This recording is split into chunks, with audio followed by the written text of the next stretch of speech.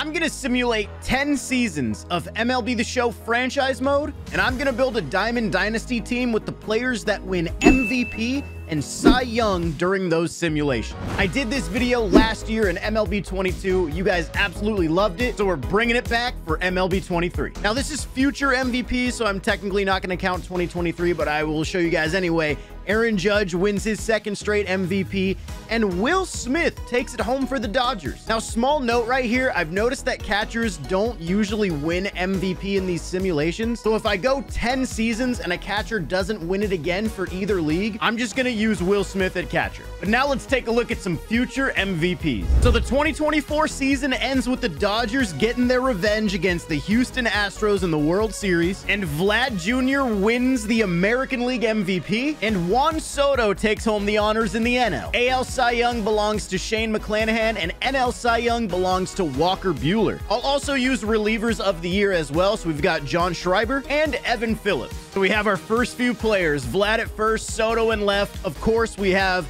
Shane McClanahan, Walker Buehler, and we have our two relievers. On to 2025. The 2025 season ends with the Dodgers going back-to-back, this time beating the Twins. And it looks like Louis Bob gets AL MVP with Austin Riley taking it home in the NL. National League Cy Young is Shane Bieber of the Phillies, and the AL is Michael Kopech. And relievers of the year, we got Clase and Alvarado. So I've got my new third baseman, I've got my new center fielder, and unfortunately for that round of pitchers, I really only have like one good version. But we can always replace players with future simulations too. So let's get to 2026. And in 2026, the Guardians are champions by beating the Mets. AL MVP goes to Yordan Alvarez with NL MVP Shohei Ohtani of the Padres. Uh, too soon, man, too soon. Cy Young is Corbin Burnes of the Cubs and Christian Javier of the Astros. Andres Munoz and Edwin Diaz take home relievers of the year. So the team is coming together nicely. I want to start getting some help in the middle of the field, though. Let's see what 2027 brings us. The 2027 World Series has the Astros coming out on top over the Marlins. And well, this doesn't really help very much because Yordan Alvarez and Shohei Ohtani won back-to-back MVPs in both leagues. As far as Cy Young, I have Nick Lodolo in the NL and Carlos Rodon in the AL. Alvarado once again wins reliever of the year with Cody Hoyer. What a weird 2027. Well, I wasn't able to make very many changes. I am able to put Carlos Rodon in the rotation, and I'm putting Cody Hoyer in the bullpen. Yeah, 2027 was kind of a wash. Well, 2028 belongs to the Minnesota Twins. And come on, Yordan wins three in a row. Are you kidding me? At least we have somebody else winning it in the NL. Pete Alonso still with the Mets. Cy Youngs, we have Brady Singer in the NL and Dylan Cease in the AL, and Garrett Crochet, reliever of the year. So after 2028, I have have Pete Alonso on the bench for now, and then I was able to get Dylan Cease in the rotation, as well as Garrett Crochet in the bullpen. We're officially halfway through these sims. Let's get to 2029. So in 2029, the Astros take out the Dodgers again. Dude, I swear, if I see Yordan Alvarez win another MVP in this simulation, Hey, somebody else, we got Jazz. And for the AL, well, it's Vlad Jr. again. All right. And for Cy Young, we have Spencer Strider of the Tigers and Sandy Alcantara still with the Marlins. So I finally have somebody for the middle infield, Jazz at second, and I'll plug Sandy into the rotation. Spencer Strider really isn't better than any of the guys I have here in this game. Let's get to the next decade, 2030. And the new decade starts with the Dodgers winning the World Series over the Astros again. Man, they're having some battles. National League MVP once again goes to Shohei Ohtani. American League goes to Corey Seager. There's my shortstop. And Cy Young belongs to Jordan Wicks and Edward Cabrera. Corey Seager is in at shortstop, and I'm going to put Edward Cabrera in over Carlos Rodon. Only three seasons remain. Let's go to 2031. This is the part of the simulations where it could get sketchy because there might be some random names that show up, like some random you know, auto-generated players that have made their way into the game. So hopefully we can actually get some players that have cards in Diamond Dynasty. Your 2031 world champions are the Marlins, defeating the Red Sox. And your 2031 MVPs are Jazz Chisholm again, as well as Rafael Devers. Cy Young, we have Grayson Rodriguez and Andrew Painter. Hey, and Duran won reliever of the year. That'll be useful. I know Devers has a better card than his live series, but he's going to be a bench bat. I'm not spending 400K for a guy on the bench. And then I've got Duran in the bullpen. I have two seasons left, and I still need a catcher. Please give me like an Adley in 2032. Oh my God, in 2032, the Angels win the World Series. Is that how long I'm gonna have to wait?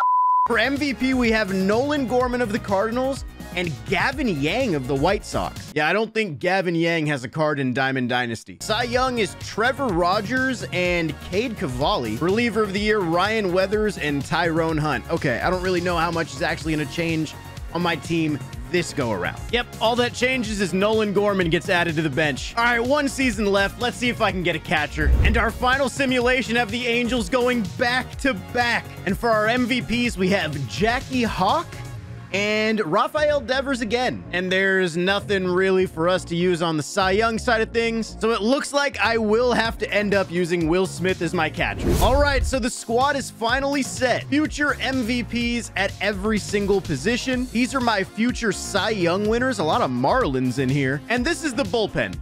Not Definitely not the best bullpen I've ever had, that's for sure. But now let's see if the future MVPs can win a ranked seasons game. So the MVPs are taking on Roy Halladay. And I'm actually recording this the day after I did all the simulations. And right before I started recording this morning, Jazz got supercharged. So that's a great last minute upgrade to the team. And oh my God, I'm the home team. If you guys have been watching my videos, you know that I have not been the home team in a minute in ranked. The curse has been broken. There you go, Corbin. I went with Corbin as the starter because I feel like he probably has the best pitch mix out of any of the guys that I have in the rotation, but I won't be afraid to use other starters or the bullpen quickly if I need to. Oh, yeah, he was late on the cutter. Oh, that was right over the middle. Come on, Louis Bob. At a boy. Tough break for my opponent. Shohei, Vlad, and Yordan to get things started. Come on. Oh, no. Oh, Hey, however you can get it, Ohtani. oh, this guy is not having it.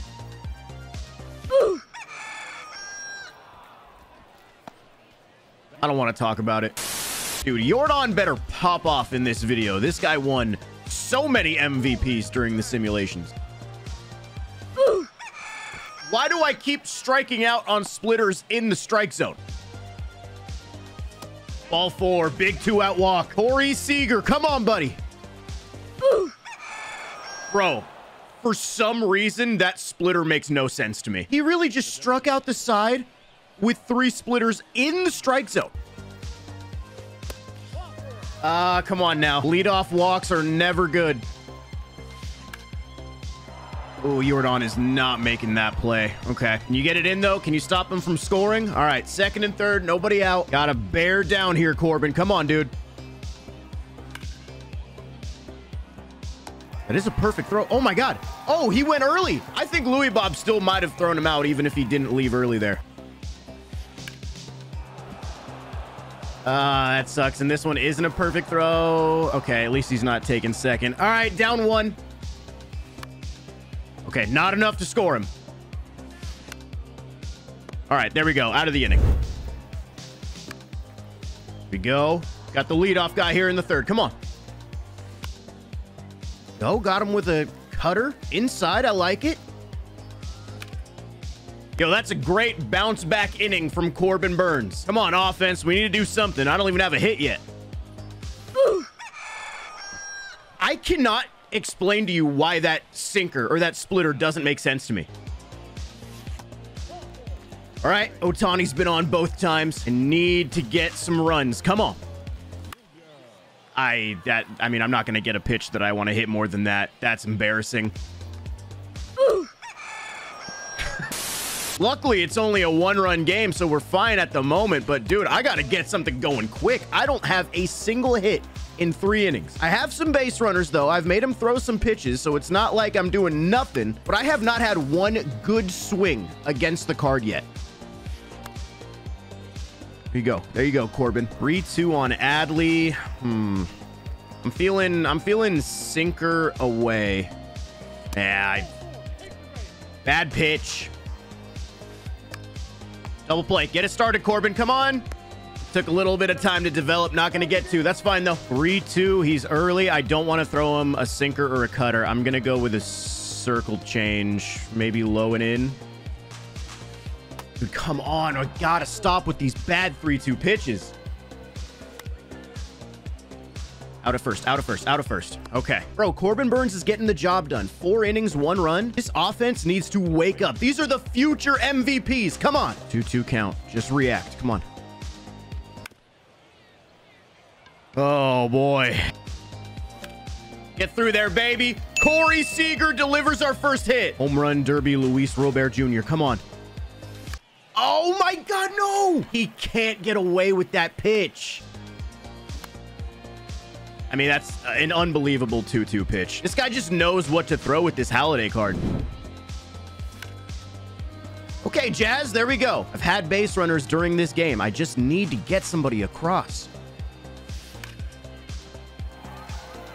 Base hit. Okay. Finally starting to put some better swings up. Come on, Vladdy. Vladdy. Three straight hits, 99 speed. I'm sending him. I need this run. I need to be aggressive. Let's go. Tie game. Yordan right here. I just missed a cutter right over the middle of the plate. I don't deserve happiness.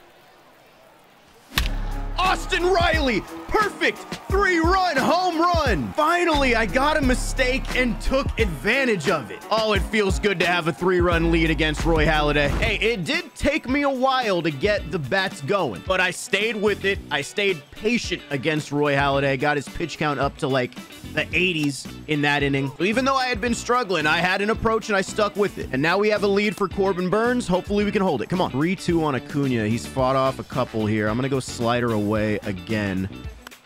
We got the ground ball. Lovely. Ooh, that was a bad pitch, but center field, don't hit it there. Yo, I thought Roy Halladay was pitching well on the other side, and he was. But Corbin Burnes has pitched six innings, and he's only allowed two hits. There's a couple walks in there, sure, whatever. But dude, Corbin's throwing a gem right now. Top seven now. Keep going, Corbin. Okay, all right, that's the first hit he's allowed in a while. Lead off double, that's okay. We can work out of this. I have the pen warmed up, ready to go, but I I believe Corbin can get through this. At least he can get through another hitter or two. I'm gonna go cutter like way up to J-Ram. Yeah, mess with the eye level. Ooh, you know, I actually would not be surprised if he tried to bunt with Jackie right here. He laid one down earlier, or tried to lay one down earlier. Doesn't matter, we got him seven innings of one run ball from Corbin Burnes. This is glorious. Oh my god, dude. Shohei hit that so hard, but right into the ground. Whoa, what the? That didn't look like a slider at all until the very last second. Okay, Yordan. Would have liked to seen you do that when there were guys on base, though. Ah, it doesn't matter. I'm popping up the next AB anyway. Okay, Corbin is in the yellow. He's at 86 pitches. He's thrown a gem, but I really want to win this, so I'm going to be careful. I'm going to go to the bullpen right here. I'm good with seven innings of one-run ball. I honestly got more out of Corbin than I thought I was going to get. He was late. Oh, Soto, please make this play. Whew. Jazz. Oh, Jazz, the cover boy. I mean, that's that's a nasty inning there from Duran. Oh, dude, for a second that looked like it was absolutely launched. Come on, man, this three-run lead is not safe. Let's get more. Okay. Will Smith, the catcher. Two-run bomb for insurance. And now for the ninth inning, I'm going to go Alvarado since he does have a couple lefties due up. There's one. That's two. And that's three. Beautiful ninth inning for Alvarado. That's a victory for the future MVPs. Austin Riley takes home player of the game with that three-run home run. And Braves fans just stay winning. But yeah, definitely not the most explosive game with this team. But at the end of the day, a win is a win.